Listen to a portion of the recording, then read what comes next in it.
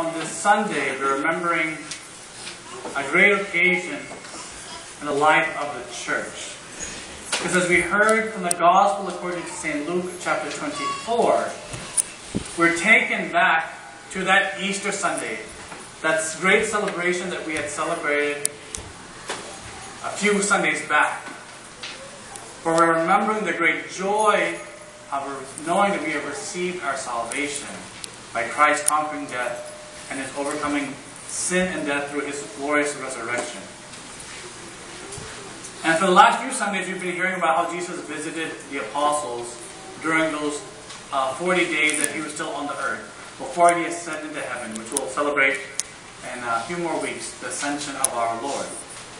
But this Sunday, we're taken back to Easter Sunday. We're taken back to that same Sunday where our Lord had conquered death. That same Sunday when the disciples, the apostles, the people who followed Jesus Christ were in a like they were in a very time of uncertainty. Their master had just been crucified. He had just died like a, a criminal. But now they're hearing the news on the Sunday that he had resurrected. And also, that as we know that we celebrated on Easter Sunday, First, Mary Magdalene gets to see the Lord, and then the, the apostles run out to go see Jesus, and then he appears to them in the room, in the upper room of St. Mark's house, where they were hiding because they were afraid of the Jews. And the Lord had appeared to them, showing that he had resurrected from the dead. But also on that same Sunday, two of his other disciples, not, not of the twelve, but two other disciples who had followed Jesus, they were walking back to their hometown. They're walking back to Emmaus. And that's how this Bible passage is known as the road to Emmaus. How Jesus appeared to the disciples on the road to Emmaus. Because, like I said, during this time, they saw their master being crucified. They couldn't imagine what does this mean? They thought, they believed that Jesus was the Messiah. But in their own limited understanding, they thought that Jesus was going to be the ruler who would become the new king of Israel. That's what they were expecting. To break them away from the bondage of the slavery of Rome so that they could be a one uh, a worshiping nation under God uh, directly, not under some other foreign nation or foreign country. But we know that our Lord did not just come to save Israel, but He came to save all people. And that He explained to these disciples, says from the very beginning, from Moses to the prophets, He explained all the Old Testament, as we know as the Old Testament, all the scriptures up until that point, how He is the fulfillment of all that was called to come, to be. The Messiah, the fulfillment of what it means, meant to be the Messiah. And as I learned in seminary when our, our, my professor, uh, Father Michael, who's now Bishop Michael, he said, this is probably the greatest Bible study of, on all the earth. That Jesus Christ explained the whole scriptures to them. And they received that great message. But the, the one interesting thing from this passage, is that whole time that Jesus was walking with them, they didn't know it was him. We are told by St. Luke that their eyes were restrained. And the tradition tells us, we know who one person's name was, Cleopas. He says, the one named Cleopas asked the Lord. It doesn't say the name of the other disciple, but the tradition tells us that that disciple is St. Luke himself. That's why he can write it in his gospel. That he was that other disciple walking back to Emmaus, wondering what does it mean that Jesus had died, but we hear that he's resurrected, but that seems so unimaginable. So that when they see this man coming approaching them, they can't imagine that it's Jesus. And because that he is now glorified and resurrected, to a certain degree also, they wouldn't be able to recognize him perfectly unless their eyes were opened in the proper way. And that's what happened on this Sunday, on this journey, on this road to Emmaus. Their eyes were being opened to understand and to see the Lord. And that's the challenge that we have living this day, 2013. Now, we've already celebrated the Easter or the Pesach, um, the, the Resurrection Sunday for 2013, and we see Jesus in so many different places. We, we, we believe in Jesus in so many things, that He's done so many things for us. you know, being with our families or supporting our churches or seeing them, hearing about the miracles that He's done to people to this day. And so we put our belief in Him. But many times, you know, I feel like even myself that would we be able to really recognize Christ if He was really standing in front of us and talking to us? Are we able to recognize the Lord speaking to us directly when we're needing Him? Because these disciples were needing Jesus. Because they were in such despair and uncertainty. Uncertainty. What was going to happen? Their hopes and their dreams was in this man named Jesus who did so many great things. So they saw do miracles and raising Lazarus from the dead. And people rejoicing in him. This same man was crucified like a criminal. They couldn't understand. And that's how we feel many times in this world. We know that Jesus had done this. This has been given to us by the church and by the, our forefathers and our mothers. That Jesus is King, that He has resurrected. We have new life in Him. But when we look in this world, when we watch TV, when we go to our homes, we really don't feel it. We feel like the disciples. We see the tragedies happening so much around this world. You know, recently, you know, recently the bombings in Boston, the shooting in the school in, uh, Connecticut, uh, in Connecticut. Uh, all the tragedies, you remember the, the tsunamis or you know, different uh, terrorism and all these different things. In our houses, we have uh, difficulties uh, with uh, divorce now in our churches and even in our community. Children having issues with parents and at school. All these things seem to add up and add up. And we begin to feel like these two disciples. We don't know where we're going. We're just now on a journey back to where we want to, where we came from. That's not how these disciples, they went back to Emmaus. They were following Jesus for those however many, those three years of his ministry. They're seeing all these great things. They're on that great journey. Like they're going to the kingdom. But once they saw tragedy happening, they went back to the old ways. They went back to Emmaus.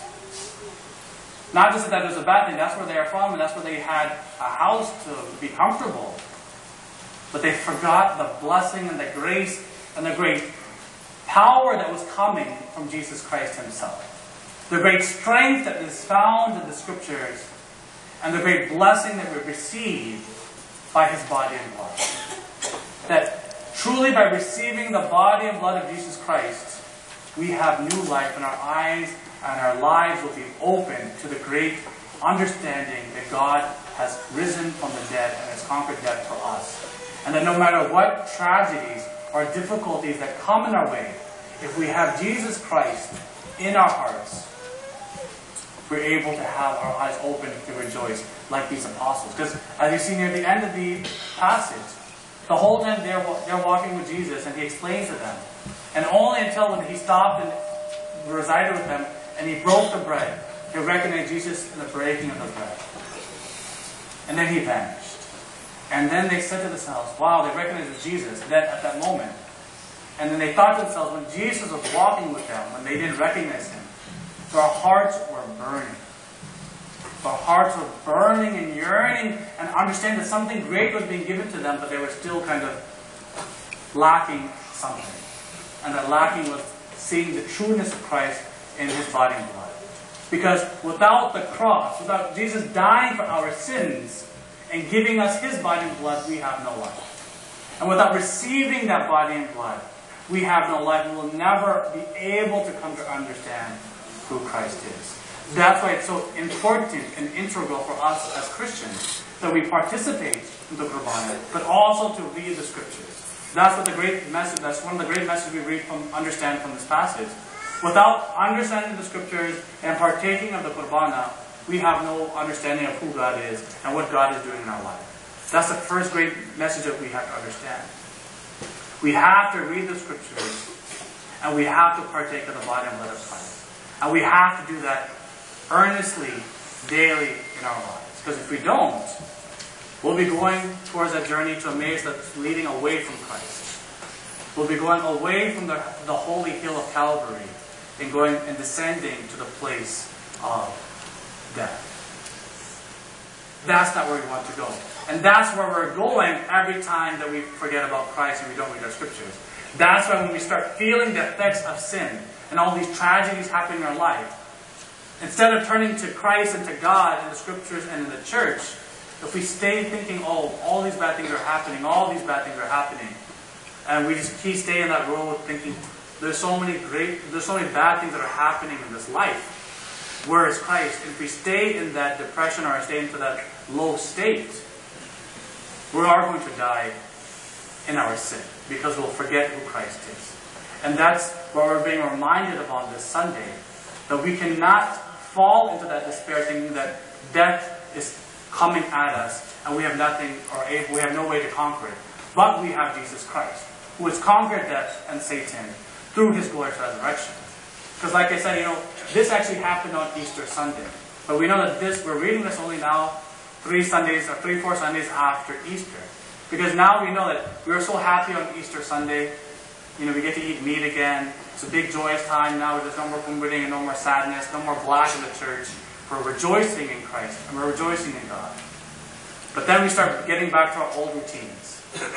Back, you know, we were so great. Holy Week was such a great experience, and all the Pesach and Good Friday, Holy Saturday, and Easter we were all great spiritual children of God. We could say, yes, I'm a Christian. But then now come a, a week after, two weeks after, three weeks after, many times we just fall back into that same old routine. We didn't learn something, or we weren't able to change fully from what we learned during Lent and during Holy Week.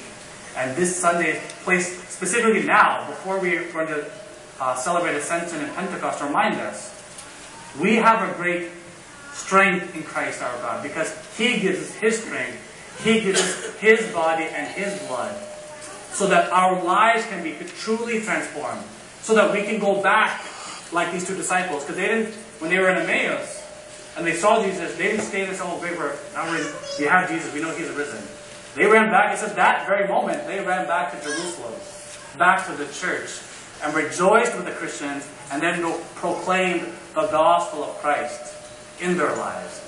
But these two great saints became bishops and evangelists. They were uh, part of the 70 who were sent out and proclaiming the gospel of Christ. That same mission is given to us. But we have to remember the joy and the grace that has been given to us by Christ's holy and glorious resurrection.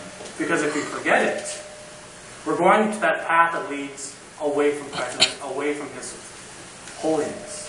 Because even if you look geographically, when we learn, study the scriptures, they say the road to Emmaus is actually going towards Jericho.